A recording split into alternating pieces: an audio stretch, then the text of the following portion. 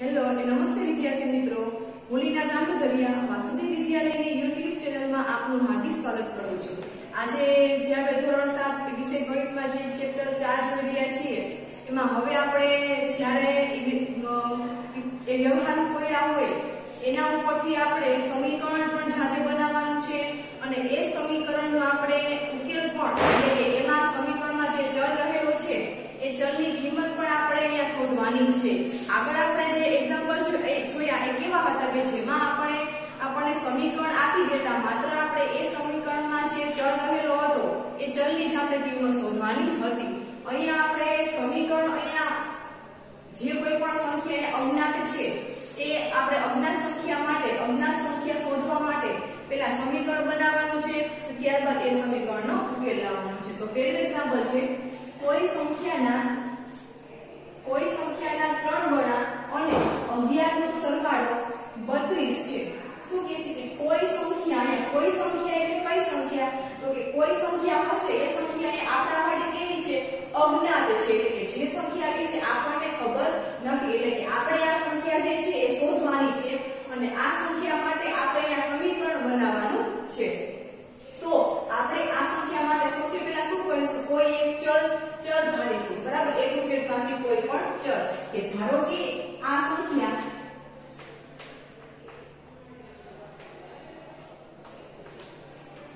x છે હવે આપણે એમ સમજીને ચાલવાનું છે કે કોઈ એક સંખ્યા જે છે એ શું છે x છે હવે આપણે એમ સમજવાનું છે કે આ સંખ્યા આપણી પાસે અત્યારે છે ભલે આમ નથી પણ અત્યારે આપણી પાસે સંખ્યા છે કે જે x છે હવે આના ઉપરથી આપણે ચલ x ને લઈને સમીકરણ બનાવવાનું છે કે જે આમાં ક્રિયાઓ કીધી છે કે એ ત્રણ ગણા કોઈ સંખ્યાના ત્રણ ગણા હવે કોઈ સંખ્યા એટલે શું તો કે x તો પહેલા x ના શું કરીશું ત્રણ ગણા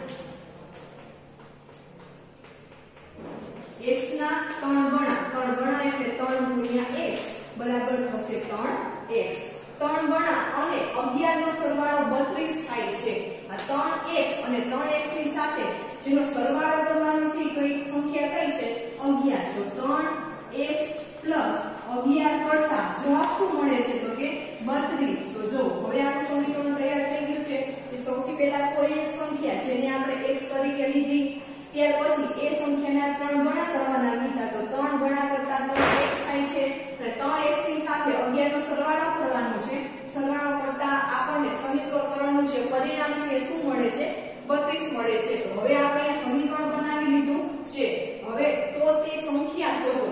હવે આપણે આમાં છે x તરીકે એ મૂળ સંખ્યા છુપાયેલી છે, એ આપણે અહીંયા x ની કિંમત શું હોય? એ સંખ્યા કઈ હોય? એ આપણે શોધવાનું છે. તો હવે આપણે સમીકરણનો ઉકેલ લાવતા શીખી ગયા છીએ. એ પ્રમાણે સાઈડ ફેરવવાની છે. સૌથી પહેલા 3x 11 11 જે અહીંયા પ્લસ થયેલા છે, સામે જશે તો 32 માંથી શું થશે? 12 થશે. 3x એમ નમ 32 માંથી 11 જાય તો કેટલા વધે છે? 21 હવે 3x ની સાથે એ ગુણાકાર થયેલો છે. 3 ને સામે લઈ છે એટલે 21 સાથે શું થશે? ભાગાકાર એટલે 21 ના છેદમાં 3 તો 7 તેરી 21 અહીંયા આપણને x ની કિંમત શું મળે છે? 7 તો x બરાબર 7 x શું હતી કે આપણે જે સંખ્યા ધારેલી હતી, બરાબર એ x હતી. તો અહીંયા આપણે x ની કિંમત હવે મળી ગઈ છે. તો એ મૂળ સંખ્યા એ ધારેલી સંખ્યા કઈ હોય 7 હશે બરાબર આ રીતે આવું બીજું એક્ઝામ્પલ છે એવી સંખ્યા શોધો કે જેનો એક ચતુર્થાંશ ભાગ 7 કરતા 3 વધુ છે બરાબર એવી સંખ્યા આ જે એવી સંખ્યા આપણા માટે કેવી છે અજ્ઞાત છે એટલે આપણે આપણે એને ધારીશું ધારો કે આ સંખ્યા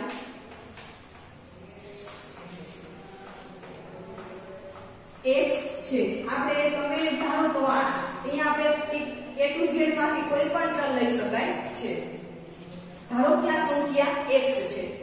તો હવે કહે છે કે એવી સંખ્યા શોધો કે જેનો એક ચતુર્થાંશ ભાગ ભાગ એટલે કે ભાગાકાર, એટલે ચતુર્થાંશ એટલે 4 કે એ સંખ્યાને આપણે 4 વડે શું કરવાનો છે? ભાગાકાર કરવાનો છે.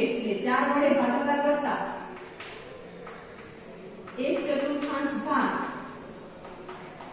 એટલે x ભાગ્યા 4 ના છેદમાં 4 તો કે એક ચતુર્થાંશ ભાગ 7 કરતા 3 વધુ છે. બરાબર? આ જે એક ચતુર્થાંશ ભાગ છે, એ સાત કરતા ત્રણ વધુ છે. એનો મતલબ શું? કે સાત જે છે, એ સાત કરતા આ સંખ્યાની કિંમત કેવી છે? વધારે છે. અને આ સંખ્યામાંથી જો સાત ને બાદ કરવામાં આવે, તો વધારે છે તો કેટલી વધારે છે ત્રણ વધારે છે આપણે એમ કહેવામાં આવે કે આઠ જે છે એ પાંચ કરતા ત્રણ જેટલા વધુ છે, તો એ ક્યારે ખબર પડે? તો કે આઠમાંથી પાંચ ને બાદ કરીએ, તો આપણને ખબર પડે કે આઠ જે છે, એ મોટા છે પાંચ કરતા. પણ કેટલા મોટા છે? ત્રણ જેટલા મોટા છે. તો અહીંયા પણ એ સરળ છે કે આ જે x ના છેદમાં ચાર, આ ચોથો ભાગ જે છે, એ સાત કરતા ત્રણ જેટલા વધુ છે. એટલે કે x ના છેદમાં ચાર માઇનસ સાત બરાબર ત્રણ બરાબર તો આપણું સમીકરણ બની ગયું છે હવે આપણે આ સમીકરણનો ઉકેલ લાવવાનો છે? કે સૌથી પહેલા સાત જે માઇનસ થયેલા છે, એને આપણે સામે લઈ લઈએ તો શું થશે? પ્લસ ત્રણ પ્લસ સાત. x ના છેદમાં ચાર, એમ નવ ત્રણ પ્લસ સાત બરાબર દસ. હવે x ની સાથે ચાર નો ભાગાકાર થયેલો છે, સામે લઈ જશે તો શું થશે? ગુણાકાર દસ ચોક ચાલીસ. એટલે x ની કિંમત કેટલી મળે છે આપણને ચાર? કે એ મૂળ સંખ્યા કઈ છે? તો કે x બરાબર ચાલીસ એટલે કે એ મૂળ સંખ્યા છે ચાલીસ. ખાસ અહીંયા આપણે રકમને ધીમે ધીમે વાંચવાની, એક પછી એક કીધું હોય, ભાગાકાર કે ભાગ કીધું હોય તો ભાગાકાર, પછી ગણા કીધા હોય તો એ ગણાકાર ઓછું કીધું હોય તો બાદબાકી અને જો વધારે કીધું હોય તો સરવાળો. આ પ્રમાણે અહીંયા આ જે એક્ઝામ્પલ છે તમારે તમારી બુકમાં આને ખાસ લખી લેવાના છે. હવે આપણે ફરીથી નેક્સ્ટ વિડીયોમાં મળીશું. Thank you